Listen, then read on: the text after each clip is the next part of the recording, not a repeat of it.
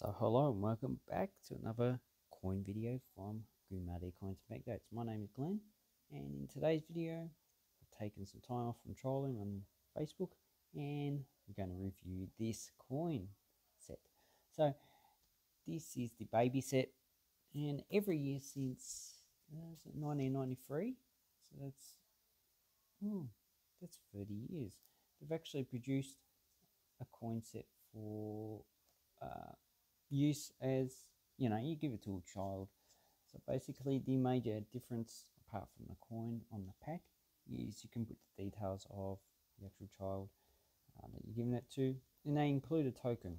So this token is nickel brass sulfur? Nah it's not that. Probably steel nickel bronze steel I would say that because you've got copper nickel up here you got aluminium bronze, so nickel, I'd say nickel brass steel, but we'll have a look in a minute. And it's uncirculated. And the designer for these coins, at least the $2 and the token, is D Hardy, and the rest is Royal Australian Mint. So obviously various uh, people have not been attributed. You'll probably find some information if you probably check in mint reports or even you email the mint.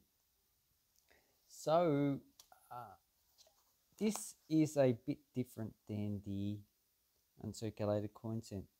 And another factor is I think in S20 from uh, Samsung, the camera is really shocking. So here's the uncirculated coin set. So this uh, usually has some standard coins, but this year probably has uh, coins not issued for circulation.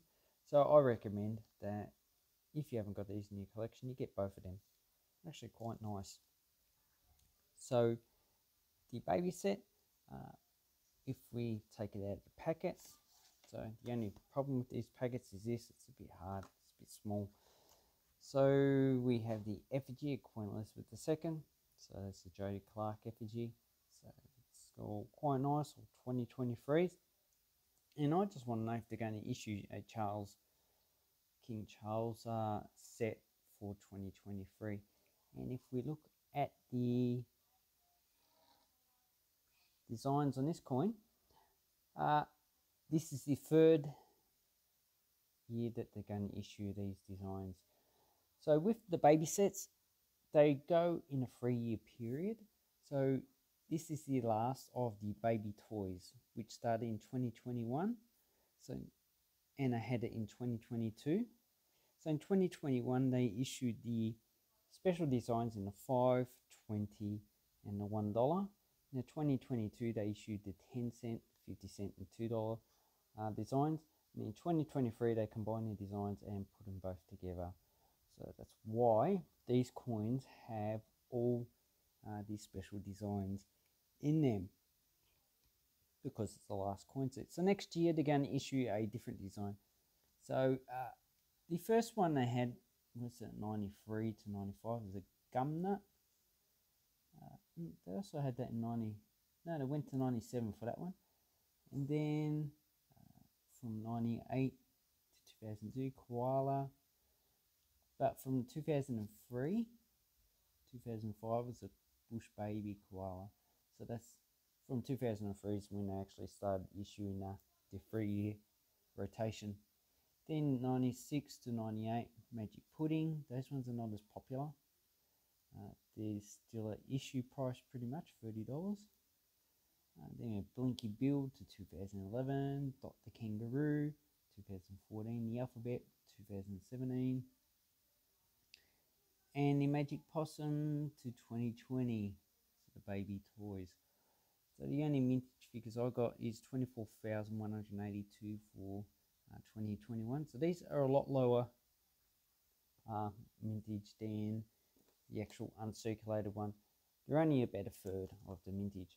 So uh, these are not as popular, probably because uh, they don't have coloured coins in them. The current uncirculated coin sets seem to be popular because of the coloured coins. But in all of these baby sets, they have at least one coin, usually either a 50 cent or a dollar, that is designed especially just for that coin set and they have the token. So And as you can see, the token itself is the coloured uh, part of the actual coin set. And that token's actually quite nice.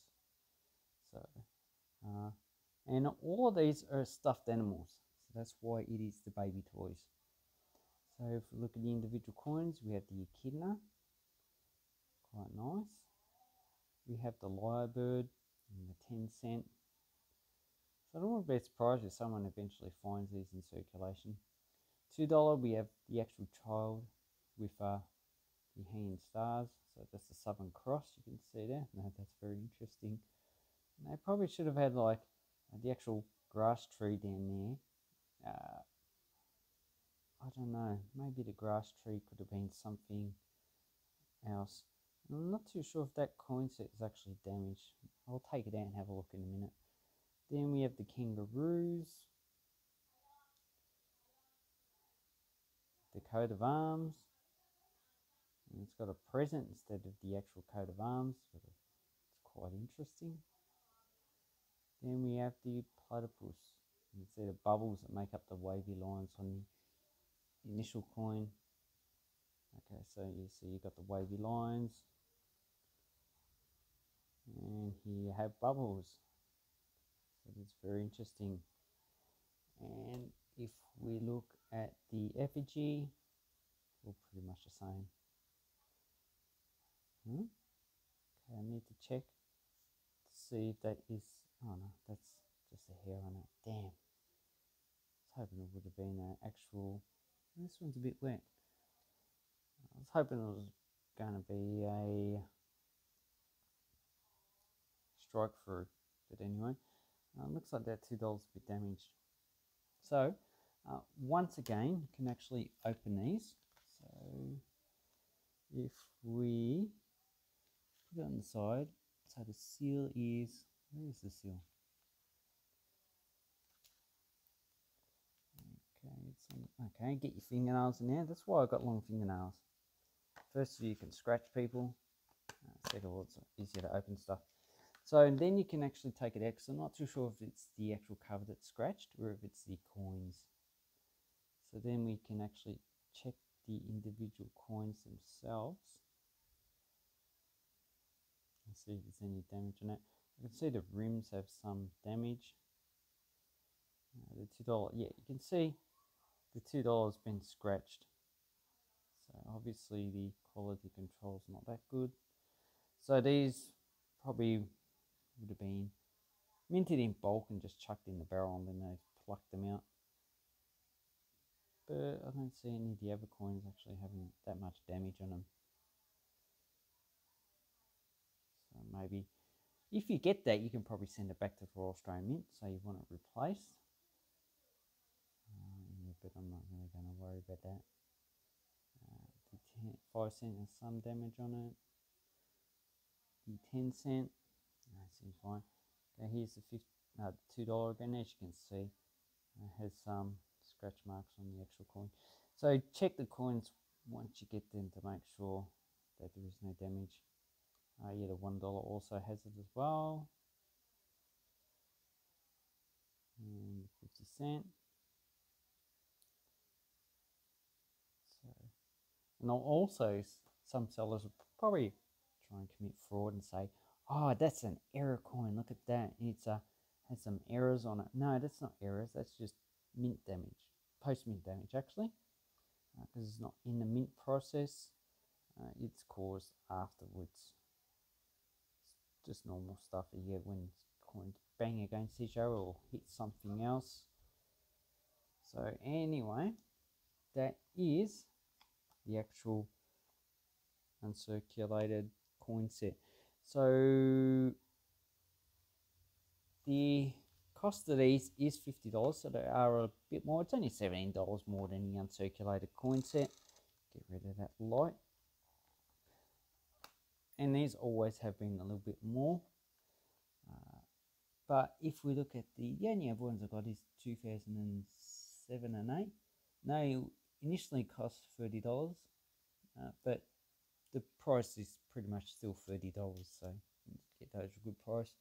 I'm not too sure on the values of the other ones. The Renniks catalogue has them at least double the value, but I'm not too sure if that actually stands up uh, in today's market.